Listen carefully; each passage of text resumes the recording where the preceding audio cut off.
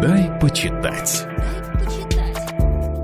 Здравствуйте, я Ксения Станиславовна Литсерева, профессор Вятского государственного университета. Прошу прощения за то, что снова обращаюсь к Японии, но эта книга издательства Бомбора заслуживает того, чтобы рассказать о ней. Итак, японские мифы и легенды – главные предания страны восходящего солнца. Как любая мифология, японская развивалась на протяжении многих веков. Интересна она еще и потому, что Япония всегда была довольно закрытой страной и долго оставалась для всего мира тайной за семью печатями. Во второй половине XIX века, благодаря реформам императора Мэйдзи, государство начало принимать активное участие в международной политике. Когда на всемирных выставках в Париже и Лондоне были продемонстрированы японские товары и произведения искусства, все были в восторге. Даже появилось особое течение – японизм, оказавшее большое влияние на западноевропейское искусство. К сожалению, куда менее известной, чем фарфор, лаковые изделия, шелки, гравюры, была японская мифология. Разумеется, это было вызвано и сложностями перевода, и культурной спецификой страны восходящего солнца. В книге 16 глав, и они являются своеобразной классификацией преданий и легенд. Происхождение мира, великие герои, великие воины, есть сказочные, бытовые сюжеты, а есть не только духи, боги и вымышленные герои, но и реально существовавшие исторические лица, императоры, военачальники, знаменитые самураи, повлияли и религиозные особенности. Например, синтоизм, основанный на поклонении душам умерших и явлениям природы, за каждым из которых стоит определенное божество Ками, но не надо забывать и о влиянии буддизма. В книге представлена объемная картина японских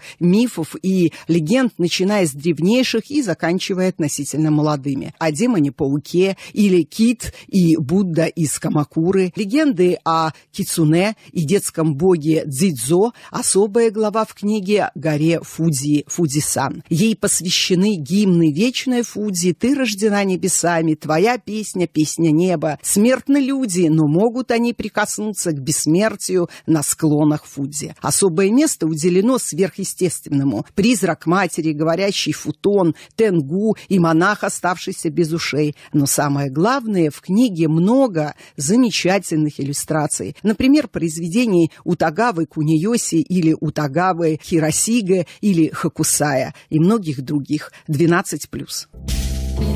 Дай почитать.